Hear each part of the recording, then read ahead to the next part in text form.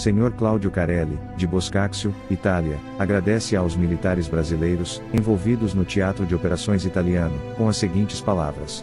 Eu tenho afeto por aquele período, apesar de ter sido um período difícil, de bombardeios, eu me lembro de dois militares, que me consideravam como um filho.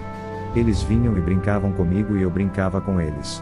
Sou muito grato a essas pessoas, não só a elas, mas a todo o exército brasileiro que participou dessa ação. Pois combateram pela liberdade. Obrigado por tudo. De verdade.